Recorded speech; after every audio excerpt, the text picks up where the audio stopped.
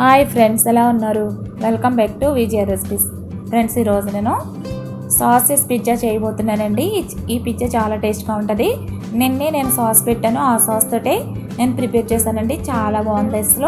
అస్సలు చెప్పలేని మాటల్లో అంత బాగుంది. ఏ విధంగా ప్రిపేర్ చేసుకోవాలి ఇప్పుడు ఈ వీడియోలో చూద్దాం. ఒక బౌల్లో గోరువెచ్చని నీళ్ళు తీసుకోండి. అందులో ఒక స్పూన్ షుగరు ఒక స్పూన్ ఈస్ట్ వేసుకొని బాగా మిక్స్ చేసుకోవాలి. బాగా మిక్స్ చేసిన తర్వాత మూత పెట్టి ఒక టెన్ మినిట్స్ రెస్ట్ ఇవ్వాలండి.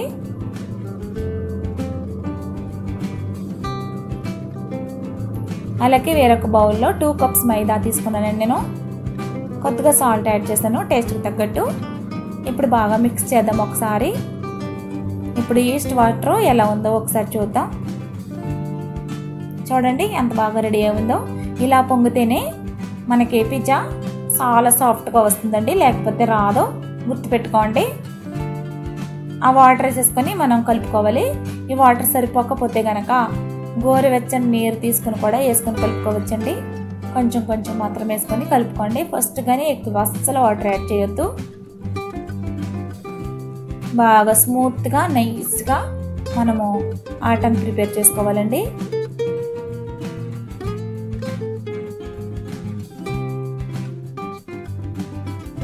చూడండి ఇలా తర్వాత ఇందులో కొంచెం ఆయిల్ కూడా వేసుకుని మనం స్ప్రెడ్ చేసుకోవాలి దానికి.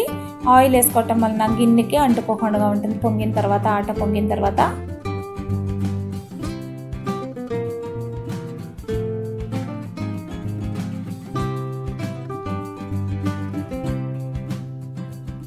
ఇప్పుడు మూత పెట్టేసి ఒక గంట వదిలేద్దామండి. గంట తర్వాత చూడండి.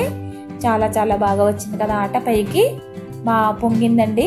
ఇలా పొంగితేనే పిజ్జా చాలా స్మూత్గా వస్తుందండి. అస్సలు చూడక్కర్లేదు పిజ్జా మీరు అంత బాగుంటుంది. ఇప్పుడు మనము గాలి ఏమైనా ఉన్నదేమో ఒకసారి బాగా ఒకసారి మళ్ళీ పిసుకుదాం బాగా. ఇలా బాగా నొక్కుకుని తర్వాత మనము చక్కగా ఎంత సైజ్ పీస్ కావాలో అంత సైజ్ పీస్ మీరు కట్ చేసుకోవాలండి. ఎందుకంటే మీరు ఏ గిన్నె తీసుకుంటున్నారో సైజుని బట్టి చేసుకోవాలండి. నేనైతే ఒక చిన్న గిన్నె తీసుకున్నాను. ఆ గిన్నెకి తగ్గట్టు నేను చేస్తున్నాను. ఓవెన్ లేకుండా చేయటం కాబట్టి చాలా జాగ్రత్తగా ప్రాసెస్ మిస్ అవ్వద్దండి. ఎప్పుడు కావాలంటే అప్పుడు ఎప్పుడు గుర్తొస్తే అప్పుడు మీరు ఈ పిజ్జా రెడీ చేసేసుకోవచ్చు. అంత ఈజీగా ఉంటుందండి ఈ ప్రాసెస్. మనం ఇలాగా ఇప్పుడు స్ప్రెడ్ చేద్దాం. చపాతి ఏ విధంగా చేసుకుంటామో అలాగే చేసుకోవాలి. కానీ బాగా తిన్నిగా కానీ బాగా ఫ్యాట్గా కానీ చేయకూడదు. మీడియం లాగా చేసుకోవాలి. నేను వీడియోలో చూపిస్తున్నాను. చూపి చూడండి.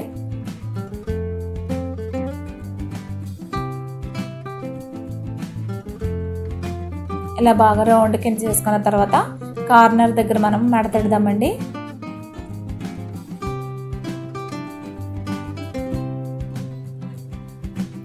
చూడండి కార్నర్ దగ్గర అలా మడతెడతాం వలన మనము పిజ్జా సాస్ వేసిన అలాగే చీజ్ వేసిన బయటకు రాకుండా సపోర్ట్ ఉంటుందండి.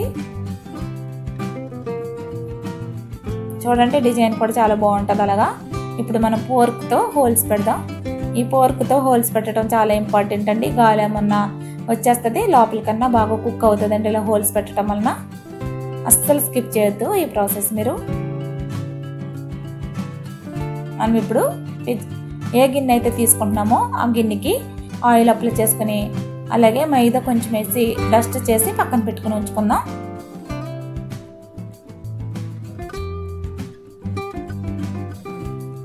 ఇప్పుడు మనం చేసిన ఆ రోటీని అందులో వేసేసి పిజ్జా సాస్ అప్లై చేద్దామండి. నిన్న రా నేను వీడియోలో పెట్టానండి ఈ సాస్ని.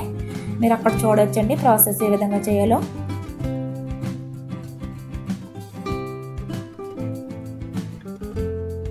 ఇలా అప్లై చేసిన తర్వాత కొద్దిగా చీజ్ వేయాలండి ఇక్కడ. నేను సాసెస్ పిజ్జా చేస్తున్నానండి. ఆల్రెడీ నేను చికెన్ పిజ్జా అలాగే పన్నీర్ కూడా చేశాను. ఆ వీడియోలో కూడా ఒకసారి మీరు చూడండి ఫ్రెండ్స్. ఇప్పుడు మన సాసేజ్లు నేను చిన్న చిన్న ముక్కల కింద రౌండ్స్ కింద కట్ చేసుకొని కొంచెం చాట్ మసాలా చిల్లీ పౌడర్ కొంచెం సాల్ట్ వేసి లైట్గా ఫ్రై చేసి పెట్టానండి. ఆ పీసెస్ ఇప్పుడు నేను పెడుతున్నాను. అలాగే గ్రీన్ చిల్లీ సిమ్లా మిర్చి కూడా తీసుకున్నానండి నేను. మీకు ఏ కలర్ కావాలన్నా కలర్ యూజ్ చేసుకోవచ్చండి. ఆనియన్స్ కావాలన్నా ఎగ్ పెట్టుకోవచ్చండి. నేను ఆనియన్స్ యూజ్ చేయట్లేదు.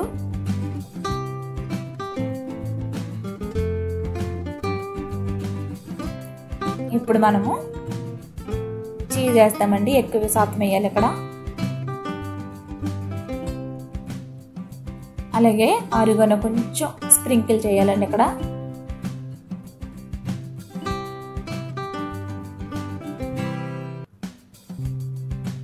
అలాగే మనము స్టవ్ మీద మనము పిజ్జా చేయడానికి ఒక వెజల్ పెట్టుకొని హీట్ చేసుకుంటూ ఉండాలండి ముందుగానే.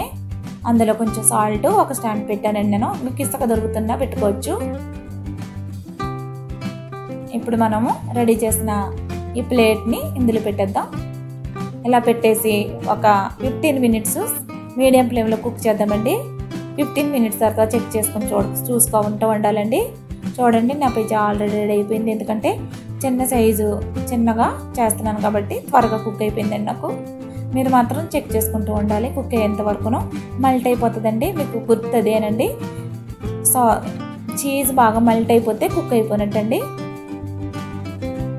చూడండి చాలా బాగా రెడీ అయింది కదండి పిజ్జా ఈ ప్రాసెస్ ఒకవేళ మీకు నచ్చినట్లయితే తప్పనిసరిగా చూసి వెళ్ళిపోకుండా సబ్స్క్రైబ్ చేయండి.